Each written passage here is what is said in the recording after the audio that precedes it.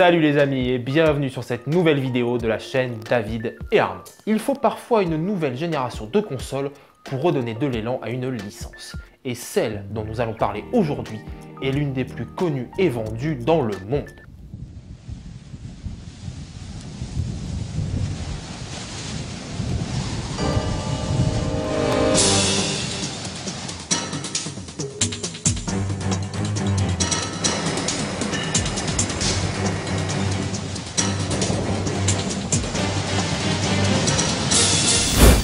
Pourtant, les premiers opus n'ont qu'à peine dépassé les frontières de l'archipel japonais. Et même là-bas, les trois premiers épisodes n'ont connu qu'un succès mitigé. Mais un soupçon de génie et une pincée de 3D vont tout changer pour la licence Metal Gear. Tout commence durant le développement du jeu Police Notes. Hideo Kojima, à la tête du projet, réfléchit déjà à la suite pour Metal Gear. Il demande à son ami Yoji Shinkawa de plancher sur les designs des futurs personnages de ce jeu d'action-aventure. Concernant la création de Solid Snake, le dessinateur va s'inspirer de deux acteurs mondialement connus. Saurez-vous reconnaître lesquels? Il a fortement été influencé par Jean-Claude Van Damme pour le corps et par Christopher Walken pour le visage. Alors j'avoue, même moi j'avais pas fait le lien. Et vous?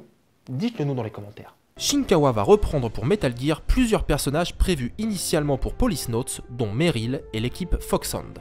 Il va y apporter un nouveau regard, adapter leur tenue, mais le gros de ces individus était déjà décidé. C'est là qu'un élément va tout accélérer. Alors que les deux opus qu'il a dirigés ont connu un succès, certes convenable, mais ne laissant pas un souvenir impérissable aux joueurs, il entend parler du support CD qui soi-disant décuple les capacités de stockage. Il se dit qu'enfin, il va pouvoir créer un jeu à la hauteur de ses ambitions. Pour rappel, le premier épisode de Metal Gear était très limité par les capacités du MSX2 et ne pouvait afficher qu'un ennemi à l'écran. Une limitation très difficile quand on connaît le talent et l'imaginaire d'un homme comme Hideo Kojima.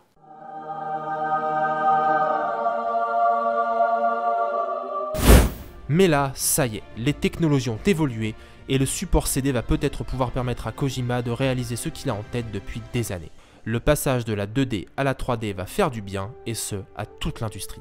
Mis à part Sonic, mais ça, c'est une autre histoire. Le développement commence sur 3DO, mais suite à la disparition de cette dernière, Kojima et son équipe jettent leur dévolu sur la PlayStation.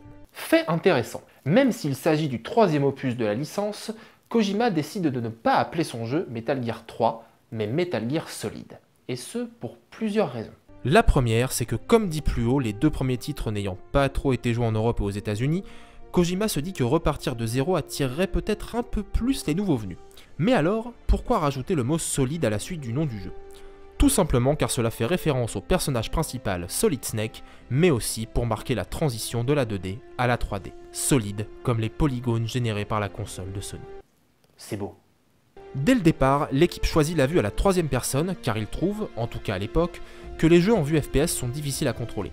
Plusieurs idées n'auront pas le temps d'être finalisées et seront intégrées dans MGS2, comme le fait de pouvoir se cacher dans des placards ou vestiaires, ou encore le fait que la bande son orchestrale suit les différentes actions du joueur en temps réel.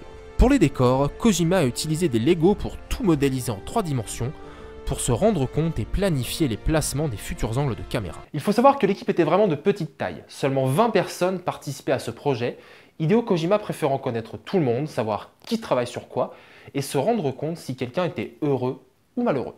En 1996, une première démo fait son apparition au Tokyo Game Show. Contrairement à la version finale du jeu, la caméra est contrôlable, à l'image de ce qu'on retrouvera dans MGS3 Snake Eater. Cette démo fera le buzz et impressionnera par son game design et son réalisme. C'est en 1998 que le jeu débarquera au Japon et aux États-Unis. D'ailleurs, la version américaine bénéficiera de quelques changements, dont la possibilité de choisir sa difficulté en début de partie, ce qui n'est pas du tout possible dans la version japonaise. Petite info de fin, lors du combat contre Psycho Mantis, vous pouviez entendre un message de remerciement de Hideo Kojima si vous possédiez sur votre carte mémoire des sauvegardes de Snatcher et Police Notes. Évidemment, vous l'avez deviné, il est impossible d'y accéder chez nous en Europe puisque ces deux jeux ne sont jamais sortis du territoire japonais. Dommage. À sa sortie, le jeu sera un carton avec plus de 7 millions de copies vendues à travers le monde. Les joueurs comme la presse vont l'ériger au rang de classique du jeu vidéo. Et on ne peut pas leur donner tort. Tout est quasiment parfait dans ce jeu. En France, il bénéficiera d'un doublage localisé qui va rester dans les annales, avec des phrases qui résonnent encore dans nos esprits. Et voilà les amis, merci d'avoir suivi cette nouvelle vidéo de David et Arnaud. N'hésitez pas à laisser votre avis dans les commentaires, n'oubliez pas de vous abonner et d'activer la cloche. A très bientôt pour de nouvelles aventures vidéoludiques